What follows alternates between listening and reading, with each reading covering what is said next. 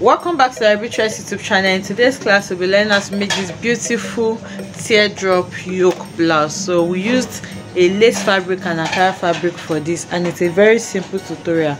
If this is something you would like to learn kindly stay tuned to the end of this tutorial. Thank you. Okay so this is the blouse that we're making and it has few modifications that we're going to be doing to this so it has a yoke and then this teardrop design that we have here with ankara coming from the bustier area all the way to the neckline. So we're going to be modifying our basic bodice to form exactly what we have here. So to do this i've already drafted my bodice here and then i have my armhole princess dart bustier that's drafted on it. So i have a tutorial on how I achieved this already on the channel a tutorial on how to you can get something like exactly like this that we have here on the channel. So I don't want this to be too long. That was why I just drafted this off camera. So now we're going to be modifying this to get what we have there on the picture. And to do this the first modification I'm going to be doing is going to be on the neckline. So for the neckline I have my regular neckline of 3 inches by 3 inches but in this case you can see clearly that the neckline is a bit wide compared to what I have on the paper. So the first thing I'm going to do now is to increase the width of this neckline by remember i have three inches here so i can make it four inches or four and a half inches depending on what i want. So if i want to make this four and a half inches i'm increasing my natural neckline width by one and a half and then i'll have my four and a half inches there. I can maintain the three inches that i have here also or i can just make this three and a half inches and then after that now i'll take my curve ruler and then draw out my new neckline okay.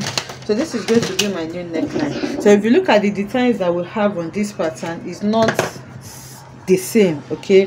What i mean by not being the same is what we have on the right of our front bodies is not exactly what we have on the left. So because of that i'm going to be tracing out exactly. You can see that my fold my paper is folded into two before i drafted it so that i can have my full basic bodies so now what i have here i'm going to be tracing it using my tracing wheel and then i'll write i will draw it out on this other side so that i can have exactly what i have here on this side also so that we can continue drafting okay so i've gone ahead to draw out exactly what i have here on the other side of my center front and then we can see the full bodice that i have here. So the next thing i'm going to do now is to shade out my dart line so that we'll know where the darts are. This is my bust dart and this is my waist and under bust dart okay? So i'm going to shade out the dart and then cut out exactly what i need from this pattern so that i'll have a smaller paper to work with.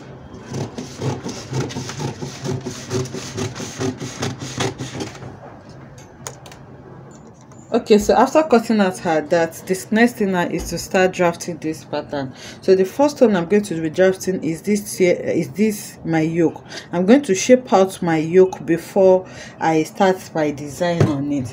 So it is very important that you work with a princess dart because of the designs that you want to do on this part because a armhole princess dart just go through your armhole it doesn't really interfere with this part of your bodice. If you're using a straight dart which is going through your shoulder it's giving you lots of issues with your dart and drawing your design. So that is why i highly recommend that you work with a armhole princess dart if you're working with this type of design. So the first thing i'm going to do now you can see that like i said the the designs are not symmetrical. They are not the same on both sides so i'm going to take my ruler now and then measure my tape measure and then measure out like half an inch for this side. Okay you can see that the yoke for the first side which is this comes from the arm princess that area all the way to the center front and then the other one comes from the center front here all the way to the shoulder. So i'm going to draw what i have there now on my pattern. And to do this because i'm still going to be joining this part this remember this is my center front this is my center front. Because i'm going to be joining my center front and my center front together i'm not going to be joining this pattern in exactly this armhole line so i'll go up by half an inch or one inch which i think half an inch is fine for me which is here. And then from there i'll measure the neck depth. That is how deep i want this neckline to be. Remember we already went down by three and a half inches on our neckline okay which is here. So i'm placing it on the three and a half inches mark. Remember i had three inches by three inches for my actual neckline then i increased the width of the neckline by one and a half and made it four and a half and then i increased the depth by half an inch to make it three and a half. So i'm just placing my tape measure on the three and a half inches where my depth where the depth of my neckline stops and then i'm going to decide how deep i want this neckline to be. So you can make it eight inches nine inches ten inches but you have to be mindful because the the yoke is going to be a lace and if the yoke is too deep it's going to be exposing the bust so if you don't want that you just take that into consideration when you're choosing the depth of your neckline. So for me i want it a bit deep so i'm just going to be going with a depth of nine and a half inches. So once i have that nine and a half inches depth i'm going to take my curved ruler and connect from that nine and a half inches mark all the way to the mark that i have there so using my curved ruler now i'm going to look for a nice curve and then i'm going to connect it. So the first side of my yoke is done okay? So for the other side now i'm going to go over to my shoulder and then we can see that the we just have the tip of the ankara on the shoulder. So here i'm just going inwards from the from the tip of my shoulder here. I'm going inwards by around one inch. You can do one and half depending on how wide you want this part to be. So i'm just going inwards by one inch and then i mark the one inch here. And then using my curved ruler again i'm going to connect it to the depth of my neckline so i'm connecting this to my neck depth using this curved ruler and then i have this okay? So all this upper part now is my yoke.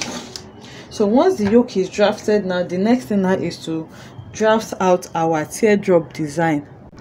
So for this design now i'm just going to sketch this out. You can use your curve i'm just going to use my free hand to sketch this out. So to sketch it out now i'm going to use my uh, my pencil to mirror what I have here or whatever design. You don't have to use what you have here but this is a requested tutorial so I just want to follow what I have here. So you can do whatever it is that you want then I'm going to use my pencil to just sketch out that design that teardrop. You see this teardrop like a this lacy part. I want to use my free hand to sketch it out and then if i like what i have there i'm going to bold it with my with my marker so that we can all see it well. So this is what i have now and then i think i'm okay with it. I'm not starting it on my center front. So what i did is just measure like half an inch away from my center front and then from there i mapped this out. So i'm fine with what i have. Then i'm going to go ahead now and make this bold with my marker. Okay. So this is the first design that we have there. And the next now is to draw draw out the second design that is with the ankara. Okay so this ankara design that we have here is the next thing i'm going to draw out. And to draw this house now i'll measure how wide i want it to be from my lace part. So from where this lace stops which is here which is here i'm going to measure around three inches or three and a half inches. That is how wide i want it to be. Then if i want it to be three and a half inches i have three and a half inches there. And again using my you can actually use a curve for this. You can just place your curve now and then try to maneuver your way around this but i just prefer to sketch it with my hand. So from there now i'm going to sketch out the design that i want there also. Okay? So i'm just sketching this out and then all the way back to my neckline okay? So at the neckline area here you won't make it too wide because it's actually not too wide so this is what i have and then i think i'm okay with what i have. So so that we can see this again i'm just going to go in with my marker and then just trace this out okay? Okay so this is the design that i have them now. And this part now is going to be cut out with my ankara. So i can just shade that part out so that it's going to be obvious for us when we want to trace this out with our tracing wheel. Okay. Okay so that is the design that i have there. You can see how simple it is to make this. So now the next thing i'm going to do before i cut it now is to take this to my pattern paper to a fresh pattern paper and then i'm going to trace out exactly what i have here and then i'm going to add half half, half an inch seam allowance around it because i'm going to be turning it out. So i have my fresh paper here. And then what i'm just going to do now is to place this on my fresh paper. So you can see how easy it is to do all the manipulations we want to do here because we don't have any dart going through that side. We don't have any dart interfering with our design. Assuming we choose to use a shoulder dart and then the dart is going all the way to this area it may be a bit difficult to do all these manipulations that we have done. So now i'm going to draw this out now okay so this have been traced out now. The next thing now is to add your half an inch seam allowance around it or quarter of an inch or whatever it is that you sew with. So i'm just eyeballing this now and then i'm adding allowance around this. Okay so after adding my allowance now i'm going to cut it out. You can actually add this allowance when you're cutting it on your fabric but i'm doing this because i don't want to forget.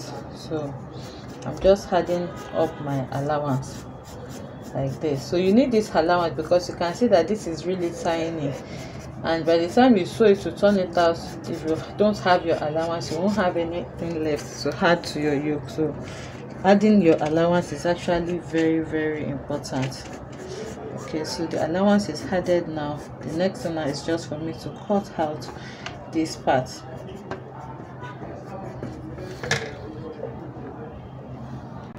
okay so this is cut out now and this is what we have okay? So i'm just going to set this aside now. You can write ankara on it so that you know that you're cutting this out with your ankara fabric. So this is the fabric that i'm working with. I'm working with this ankara fabric and it actually has these two different patterns so you can actually cut your pattern out exactly like this. But if you look closely at this design that we're working with we have a different kind of ankara on the on this yoke part that is coming from the center front to the neckline. And then we have it also on this bust area all the way to the shoulder. So i want to do that. So this red part i think i'm going to be using this this part that has the red for the lower part while I'm going to use this green and black part for the yoke here and then the upper part. So to do this before I cut out my pattern I'm going to be connecting. So I'm going to connect from this upper part all the way to my side area. So to do this I'm going to open up one of my darts so that I can close my this is actually extra work but this is what i want. So you can actually just cut this out directly now and join your bodies and add your yoke to it. But i just want to add that effect to mine. That is how i'm actually cutting it out. So now i'm cutting that out now and then i'm closing my bust dart so that i can add what i want to add to this. So i'm going to close my bust dart and then hold it down with a masking tape okay so now my dart is closed. Then the next thing now is to connect from this neckline here all the way to my dart line okay? So i'm going to be using a different type of fabric for this. And like i said this aspect is actually more important. You can skip it now and just cut out your regular pattern but this is what i want. So that's why i'm doing this. So now i'm going to cut this out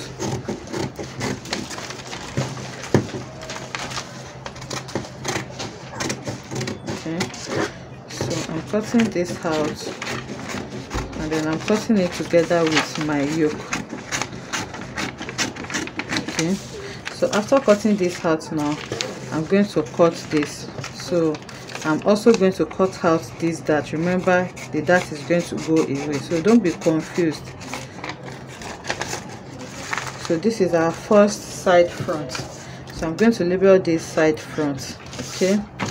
I'm going to label this center front and this other side to side front so now on this side also i'm going to close my dart and then i'm going to cut out this dart so now you can see i'm trying to cut this on camera so that we don't get confused. So now i'm cutting out the other princess darts in and then i have my center front. Then i'm going to cut off this dart now and then i'll close this dart also. Okay so you can see i've closed this dart and then i'm going to also hold this with a masking tape after which i cut out this dart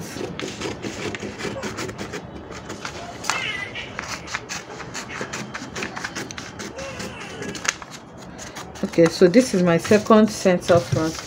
My second side front this is my center front and this is the first side front so now the next thing i'm going to cut out now is my yoke. Remember this part is going to be part of my side front. The only difference is that i want to replace it with a different type of fabric. I hope we get that. Okay so it seems my camera was blurred so this is my side front. This is my center front. This is my side second side front. But if you notice you notice that this side front is shorter. That's because i want to do a different i want to use a different ankara for the upper part of this part. So now i'm going to cut out my yoke which i'm going to be cutting with neck with net sorry. So i'm cutting i'm not going to be cutting this out. I'm just going to be placing the ankara on it. So you can see just the yoke is what i'm cutting out. By the time i arrange this we'll see. So this is my yoke. I'm going to be labeling this part yoke all of this is my yoke and then i'll cut that with my with my lace fabric. So now i have my yoke i have my center front i have my side front and these two also is actually my side front.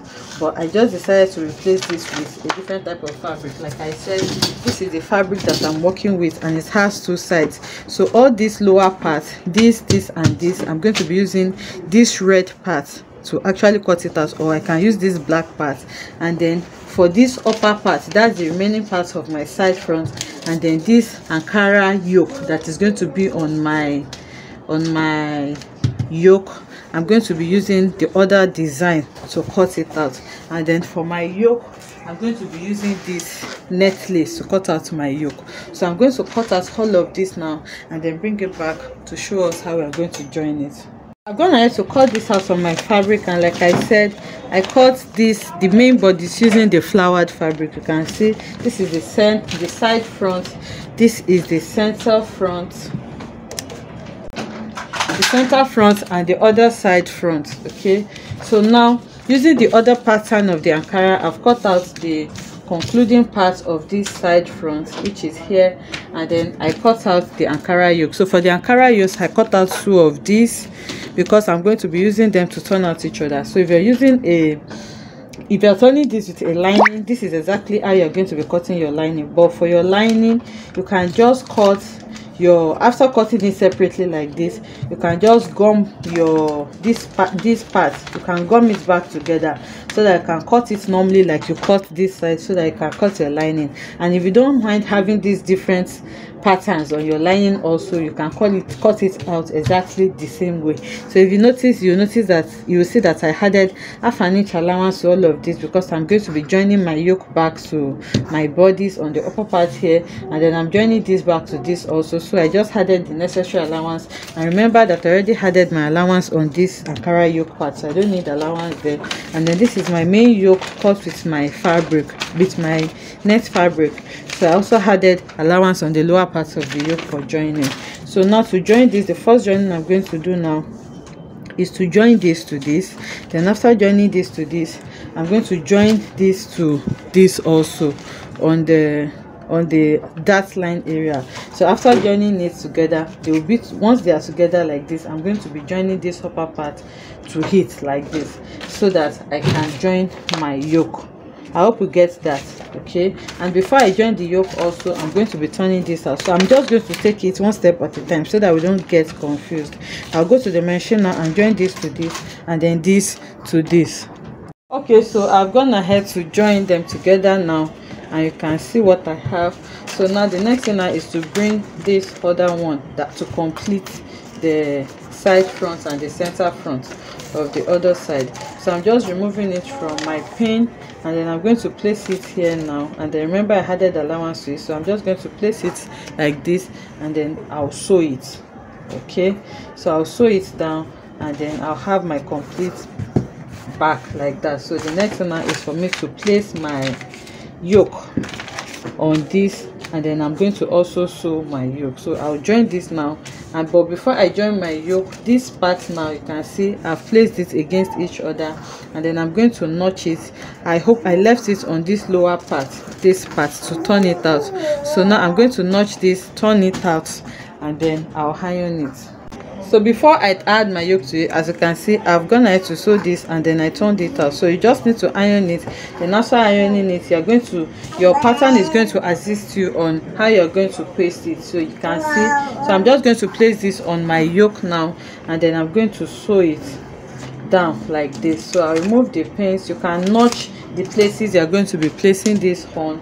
Then i'm going to sew it before i sew the yoke to the main bodies okay so now as you can see i've just i just pinned this down so that we can see what i was talking about. So i pinned it down. The next now is for me to go ahead now and sew it down to this so after sewing it down i'm going to sew this other part to this so you can see the design that i was aiming to get. So this other print is what i use for the lower part the flowered print while this print is what i want to use as my yoke and then the upper part. So like i said this is actually not compulsory. You don't have to slash this if you don't want this. You just cut it the same way we cut out this other side but i just want to have this effect on mine. That's why i cut it like this. So now i'll go ahead now and join everything together. Then you can add the back whatever back that you want to add to this to it. So just bear in mind that when you're drafting your back the same shoulder measurement that you have here has to be what you're going to be using also for the back because you're going to join them together on the back seam. So this i've been joined to this now as you can see. And then the last part of this is to join my yoke to it after i have sewn it down on this side okay so now i've joined them together. You can see my seam now. I just sew it together. So to assist you you just need to put your yoke on fold notch the center and then you put your main bodies also on fold and notch the center. So you match the center together before you start to sew. So now i'm going to sew it i'm going to notch it round. Now remember it's a cuff so that i can relax well. So if you're going to be adding a lining to this you just sew your lining. The main bodice together the same way and then you use your lining. You place your lining on top of it like this so it's down so that you can use it to cover all these rough edges that we have there. So now i'm just going to fix a back panel of my choice to this so that i can take it to the mannequin so that we'll see what this looks like. So you can see the difference in the patterning we'll see it better when i place it on the mannequin okay so this is what our blouse is looking like. You can see the teardrop effect that we have there. And then like i said i just love the different color combination that we have it makes it really stand out and beautiful. This is our princess dart lines and this is our yoke part. I hope you enjoyed making this beautiful tutorial with me. If you enjoyed it let us know in the comment section. Like comment and subscribe to our channel. And i'll see you in the next one. Bye